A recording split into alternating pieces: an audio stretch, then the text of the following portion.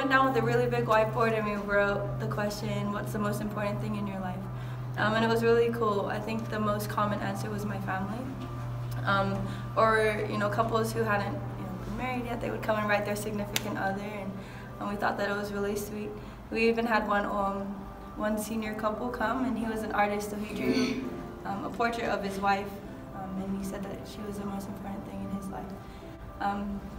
And I guess it taught us the importance of, um, I guess, teaching people about how families can be together forever. Because even people who aren't members of the church realize that, you know, family is where we get our most happiness from.